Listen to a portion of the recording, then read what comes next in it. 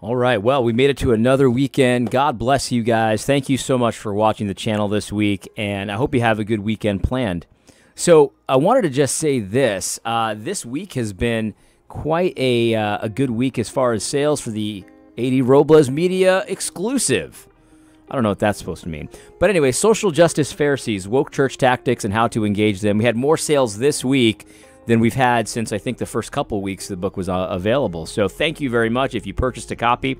We definitely have plenty more on on uh, site in stock and ready to ship out. So if you're interested, you can go to the website adrobles.com or you can email me if you want a copy ad at adrobles.com to get your copy. The price of silver has gone down, uh, surprisingly. Well, actually, not that surprisingly, but um, the price of silver has gone down. So if you want to buy books for silver, you can get a really good deal right now.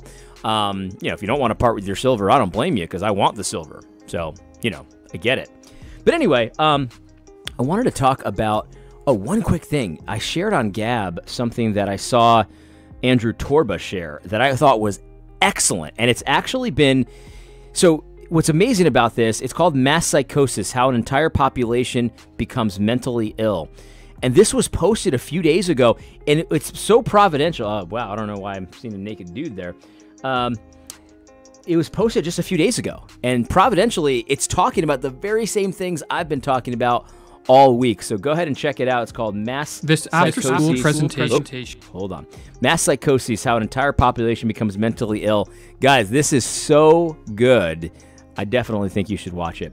But related to that note, I actually had a comment that on the, on the Reform Jellicle show last night that I missed, and the brother messaged it to me and emailed it to me uh, again because he wanted to make sure I saw it, and I thought it was really well said.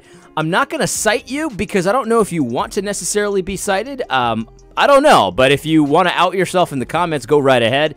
Um, brother, I thought this was very, very astute.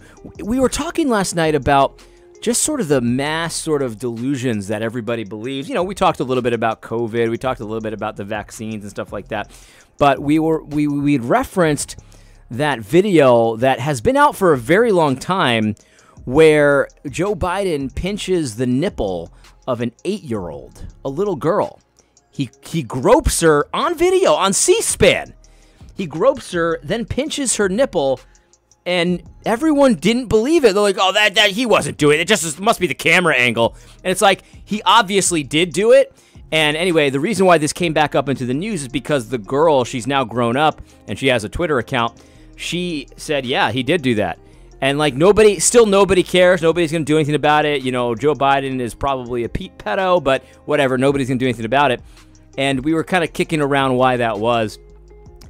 And I thought this was such an astute comment. I'm gonna read it and uh, and then I'll, we'll comment on it in a second. He says this: Everyone needs to understand the following. Oh, let me stop. Let me stop. This brother came to faith just recently, maybe three years ago, and he's an adult, and he was an adult as a pagan. Like he, he, he says here that he was so pagan that he didn't even know the song Amazing Grace was about grace. He thought it was about a woman named Grace. So that's how pagan he says he was. So he kind of remembers his life as a pagan very clearly. Anyway, listen, listen to what he says. I thought this was so astute. He says, Everyone needs to understand the following. The reason people, and especially Christians, didn't accept Biden Biden's little girl fetish after seeing it, and the reason why Christians don't understand evil in general is because they've only internalized half of Christianity. They've only absorbed the love and the grace, but they have not understood total depravity. You remember that joke, quote, are you telling me that people will just go on the internet and lie? Christians don't understand that is how people without that that that is how people without Christ are. They haven't read their whole Bible. They haven't internalized what evil is. And they take everyone at their word, both in real life and on the internet. And that's why they simply do not understand that pagans and Democrats will just lie all the time. They can't conceive of people acting like that because they're comparing their actions to how we act. Thus, even though the communists literally tell us that they are attempting to achieve their goals by any means necessary, Christians think, oh, well, they don't mean it. I mean, that must just, they're just using hyperbole for effect.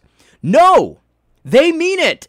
Pe- people don't understand words anymore. They're just reading their false understanding of humanity, which is all about love and grace, into everyone, which is why they're so blind. They don't understand the Bible, therefore, they don't understand man. And so this is very interesting, and I, I think this is very well said because here's what often happens. I agree, and I'm not exempting myself from this. I do this because uh, he here he gives a great example. He says people will say we need to accomplish this this this communist takeover by any means necessary. Everyone hears that, and I don't mean everyone, but I, I'll, I'll speak for myself. I hear that, and my mind autocorrects it. It's like, oh, they mean by any means necessary except like killing and like you know force. They just mean like you know by like politics and you know stuff like voting like that's what they mean. No they didn't say that.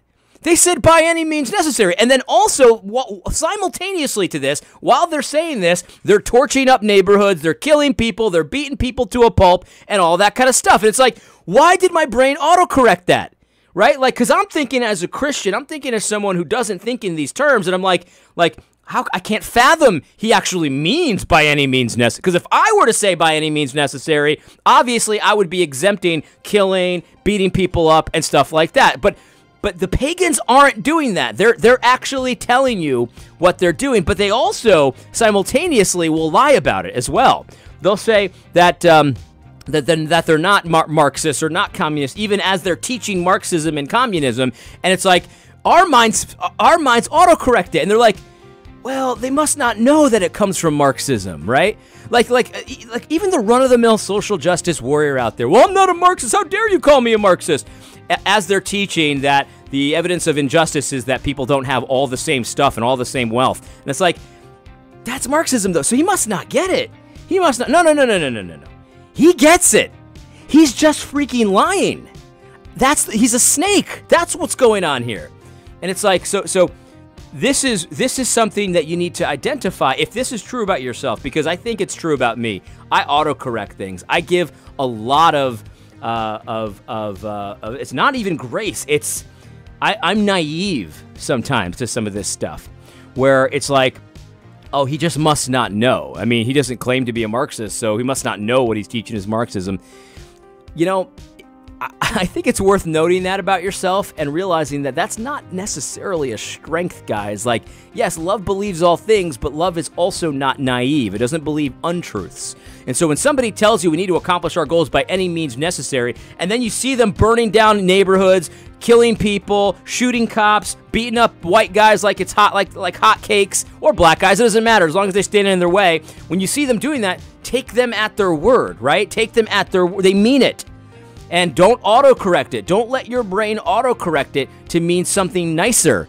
They're, they do not mean something nicer a lot of the time. And even if they did, those exceptions would actually uh, would actually prove the rule. You see what I'm trying to say? And, and, and as Christians, you know, we, we should understand this because think about it this way, right? Like like, obviously, pagans lie all the time, and we don't have to even know about each individual lie to know this because they lie about the most obvious fact in the hi history of anything. They lie that, that, that God is there. They lie that God is there and God hasn't, they say he's not there or he hasn't spoken. That, that's what they say. They say he's either not there or that he hasn't spoken about all the injustice and the oppression and all this kind of stuff. And so, so they're lying about the most obvious fact ever. They're lying to themselves every day. Why wouldn't they lie about the smaller things, at least relatively speaking? Uh, I thought that was very astute, and I wanted to just share that with you. I hope you have a great weekend. God bless.